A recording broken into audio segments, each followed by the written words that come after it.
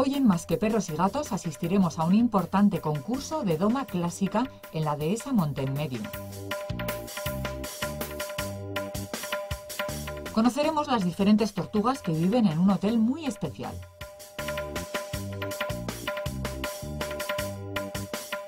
Visitaremos el pingüinario de Selvo Marina para conocer a sus simpáticos habitantes. Ahora conozcamos a las tortugas. Pues nos encontramos en la planta cero, que está en la recepción del Hotel Holiday Polinesia, donde se encuentra el lago de Tortugas, que podéis ver aquí. Eh, es una zona que se compone de 600 metros de superficie habitable, eh, 8 lagunas de agua dulce, cada una tiene un sumidero individual y permite acoger a un máximo de 80 tortugas. Eh, esta zona también tiene como característica una iluminación natural que proviene de las cúpulas eh, del techo, cúpulas de cristal. Además hay luz artificial, se ha dotado a este espacio de luz artificial y de rayos ultravioleta que permiten pues, que estas especies pues, se reposen en estos, en estos puntos. Eh, bueno, ya para dar más datos más concretos y más detalles, eh, damos paso al veterinario del hotel. Bueno, aquí lo que tenemos es, son dos especies de tortugas de agua eh, y su híbrido, ¿no? Mauremis leprosa, que es el galápago ibérico, y la especie Trachemis en sus tres variedades, Elegan, Scripta. Son ocho lagunas repartidas en unos 600-700 metros cuadrados de agua dulce. Tenemos un sistema de filtración en cada una, aunque cada laguna tiene su sumidero. Reciclamos, cambiamos el agua normalmente casi todas las semanas.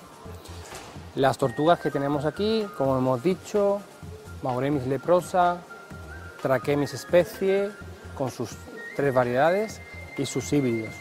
Hemos adaptado este lugar para las tortugas con puntos de reposo que se llaman luz de reposo.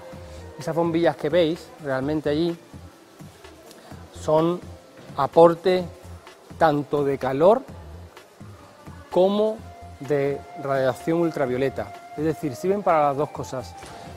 Queríamos minimizar un poco la pérdida de luz solar, sabéis que las tortugas de agua son reptiles, son animales de agua fría y necesitan la luz solar para elevar la temperatura de su sangre.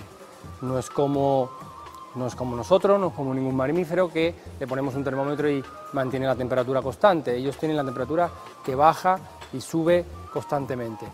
Depende siempre de la temperatura exterior. Dos grados arriba, dos grados abajo, hay mucha diferencia en la actividad que puedan, que puedan mostrar. Estas lámparas están realmente para ofrecerle temperatura. En la época fría conectamos siempre las bombillas las 8 horas del día. Tenemos cinco bombillas distribuidas y aportan UVB, rayos ultravioleta B. ¿Para qué necesitan las tortugas este tipo de rayos? Pues lo necesitan para realmente para el metabolismo óseo, necesitan para el metabolismo del calcio. No, eh, ayudan a sintetizar la vitamina D3 y por tanto que se puedan calcificar bien los huesos y las estructuras óseas. Este ejemplar es un ejemplar de Trachemis, como vemos eh, es un ejemplar adulto, ¿vale? Que puede tener aproximadamente unos 10-15 años más o menos, recordemos, recordemos que son tortugas que pueden vivir mucho tiempo, 40, 50 años, ¿vale?